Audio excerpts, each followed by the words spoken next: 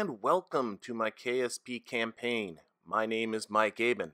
Uh, a little bit later in this episode, we will be revisiting our crew that are on their way to Minmus, and we'll also be launching the Kerion 1, which will be our first step in establishing a permanent presence in space for our Kerbals. But right now, we're going to start with something else. Here we have JunkSat 3 leaving the pad. This is actually a redo of a mission that I, well, semi-botched. I modified, I suppose might be the best word. From a couple of episodes ago, I launched JunkSat 2, which was supposed to go into this orbit, uh, pretty close to the same altitude as the moon's orbit, a little bit inclined. Um, but it's supposed to have a mystery goo container on it, and I forgot a couple episodes ago to put the mystery goo container, so I ended up swinging that particular satellite in around the moon where it's now acting as a communication relay. So this is now an attempt to actually do this mission for real. I made sure this time it does have a mystery goo uh, container on it, as you can see. This being an inclined orbit, I made sure to launch underneath one of the ascending or descending nodes of my target orbit.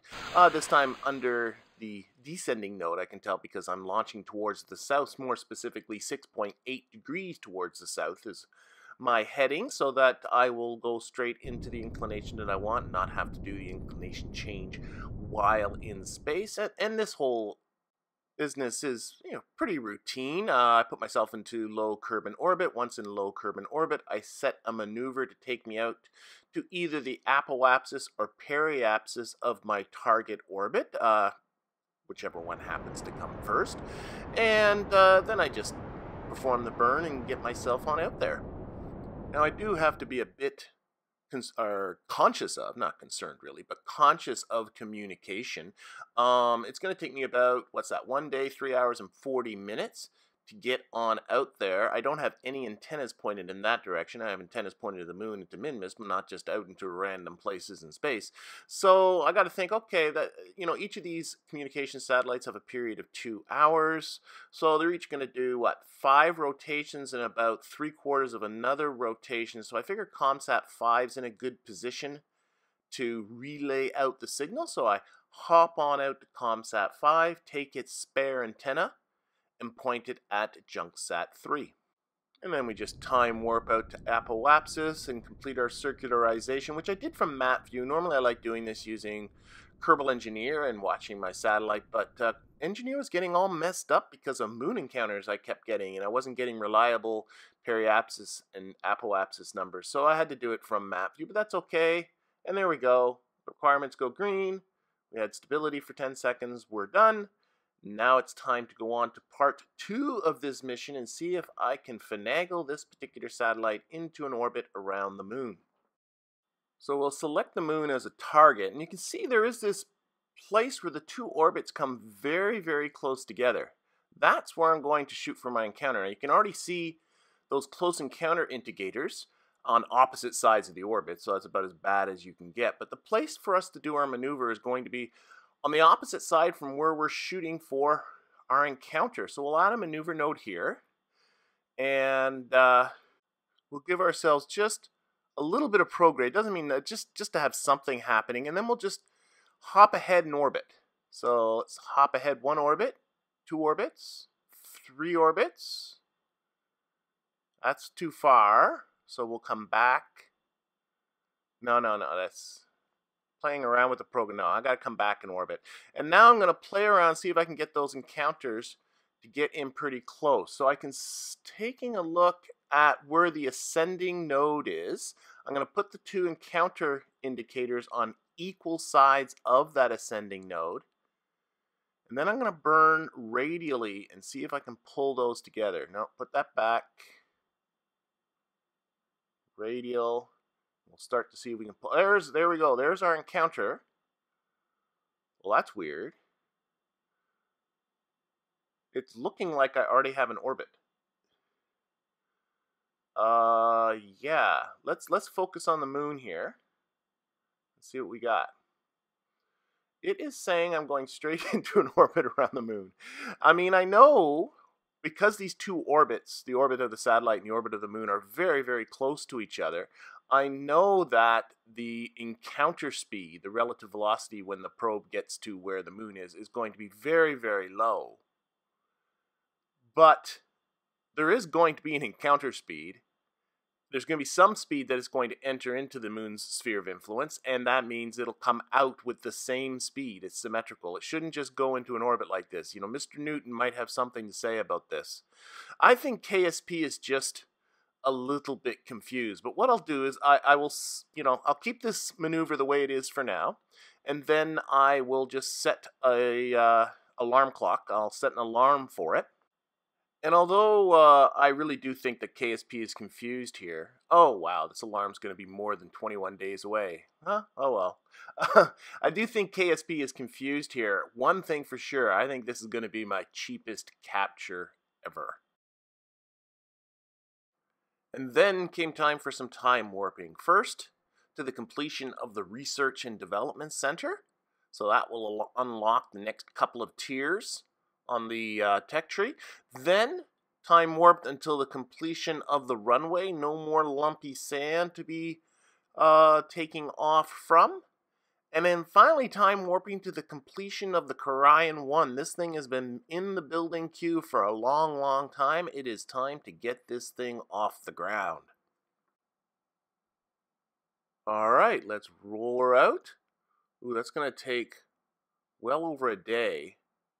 By then, MapSat 2 is going to be completed, so I'd best push something else out into the building queue. In addition, only 20 minutes after that, uh, our Minmus crew will be entering into the sphere of influence of Minmus. That's a little bit. I don't want to. I don't want them to cross through the sphere of influence without me make, making them the focus vessel. I always, I always find that a little sketchy. So I think it'd be best if we went out and dealt with them first. Okay, so you can see here we're about an a day and two hours away. Well, there's Minmus. We can now see its disk. Yeah, our target is in sight. see what Kerbin looks like. Rolling around from the way we came. Where is it? There's Kerbin. We are a long way from home. Yeah. All right. Well, nothing to it. Let's, let's get this time warping out of the way. Get her done. Oh, I'm in this getting bigger.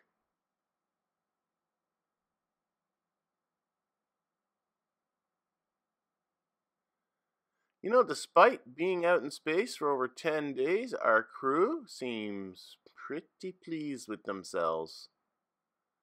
Very happy. Oh, I like the disco. I always there's a when you're at five times speed, you always get this sort of disco light effect with the blinking lights in the cockpit. It always looks great.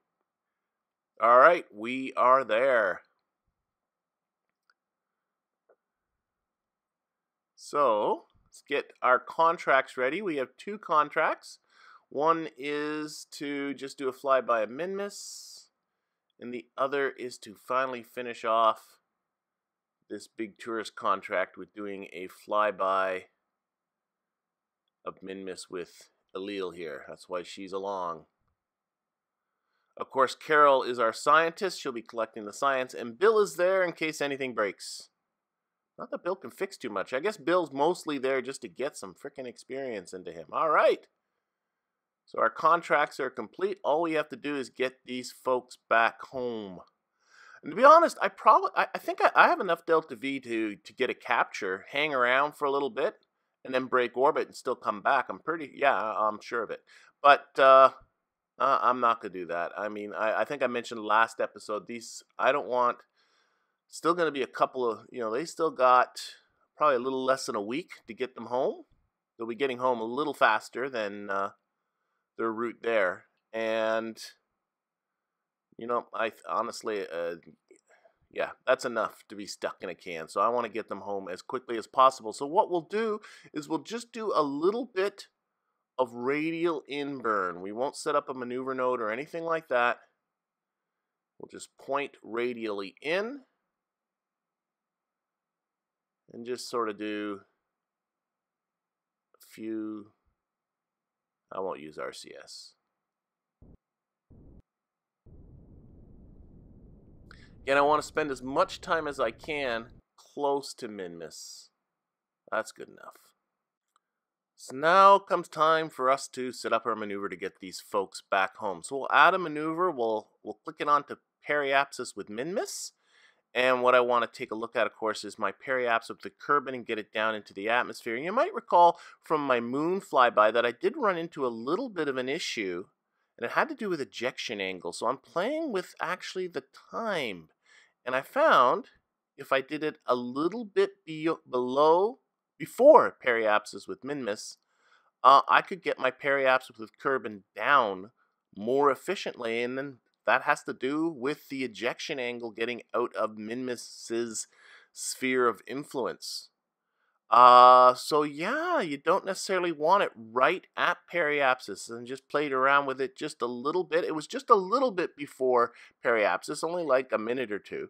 Um, but I ended up with a burn that's 49 meters per second to get these folks back home. They'll be home in just a little over six days. Uh, yeah, so that's got me pretty happy. And then, of course, comes time to start collecting science. And this time what we'll be doing is we'll be transmitting as much of the science as we can. I'll transmit that crew report later. I just sort of forgot to hit the transmit button. So yeah, we're going to transmit. Because the reason is is because I've just got the research and development center. I want, and these guys still won't be back for uh, six days. So I want to see if I can get some things unlocked before these folks are returning. Uh, you know, I'm thinking back to that maneuver. I always thought I had that flyby maneuver down cold and learn something new. You know, and that's one of the things I love about this game is that no matter how much you play, there's always more things to learn. Anyway, of course, Carol's going to go out there, do some EVAs, and uh, collect some science, but rather than watching you or having you watch her collect science, which you've seen, not her, but other people do so many times, I'm going to instead talk about this EVA enhancements mod. Okay, so what I've done is I've put I pushed T to put on SAS and I've rotated her around. I'm doing that with the Q and the E keys. You can do a little rotation. I don't think she's enjoying this, but you let's see if we spin her around this way.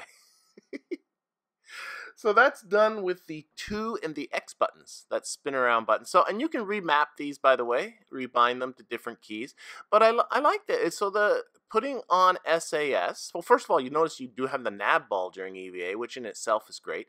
Um, putting on SAS kind of changes the camera so it's not this... Uh, lock at their back view all the time. You can have a little bit more fun, do a few more interesting things, and I think it does make your Kerbals a little more maneuverable while out in space. Anyway, we'll be coming back to these guys next episode for their actual flyby. Right now, it's time to visit Stumpy here. I mean, the Kerion 1. Weighing in at just over 125 tons, this is easily my biggest vessel yet. And the purpose of this vessel is to be my first manned vessel to go into space and stay there. The idea is this is going to continue to be reused. I'll go up, I'll refuel it, I'll restock it, and I'm going to keep it manned all the time. So this is the beginning of our a continual Kerbal presence in space. And this should be a pretty practical vehicle for me. And because it's going to be in space, well, as long until I get bored of it, I suppose. Um, I kitted it out with everything I could possibly think of, except Kerbal Engineered chip. if you notice, I have no Kerbal Engineered data uh, being provided to me. So, yeah, that was a bit of an oversight, but thanks to Kerbal attachment systems and Kerbal inventory systems, it should be something that should be able to be rectified in the near future. The other thing to notice about this particular vessel is right now it is completely unmanned. Um, the reason for that? Well, because it really has no way to get back down. It has no heat shields, it has no parachutes, it has nothing like that. It doesn't even have a launch abort system. So if I launched it with Kerbals in it, which I could have done, and something went wrong, uh, those Kerbals are dead. So I thought things would be much more prudent to launch this thing unmanned, then launch a separate vehicle, likely the Kerstock 5. I'll use that as my sort of, uh, you know, get into orbit vehicle, and then put some Kerbals in it. There we go. Lose those for, a little bit of a touch there. That's okay. Those will still be recovered later. Uh, the vehicle itself is underneath this big fairing. Uh, and you know, I've been I complained earlier in this series about the stock fairings and the way they kind of explode as they come off, but I gotta be honest, when they're bigger, yeah, I have to say that's that's pretty cool. Very nice. Anyway, now you can get a look at the vehicle itself, but before I start talking about the vehicle, I need to find me a Communotron. Somewhere in here, I have a Communotron antenna, and I need to find it before I lose contact with the Kerbal Space Center. There it is. I see it. Tucked away under here. So we'll activate that. All right, with that accomplished, let's talk a little bit more about the vehicle. Um, it can house up to four Kerbals, though I'll probably keep less than that in there most of the time because I'll be keeping them up here for pretty good lengths of time. It has enough life support to uh, keep two Kerbals going for a few months at a time without resupply. It has enough delta V to get pretty much anywhere within the Kerbal system. I can go and put myself into an orbit around the moon or an orbit around Minmus uh, and get back to low orbit around Kerbin. I can get into most orbits uh, within the Kerbin system. Some pretty crazy high orbits I might have some issues with, but uh, for the most part, yeah, I, I should be able to get this thing pretty much anywhere I need it to go. But for now, the only place I need it to go to is into a circular orbit with an altitude of about 120 kilometers, and there I'm going to park it. And then uh, in the near future, we'll launch the Kerstock 5 and we'll crew this thing. All right. So with that accomplished, uh, why don't we light this puppy up? We certainly don't want our future crew to have any trouble finding it and we'll extend the solar panels.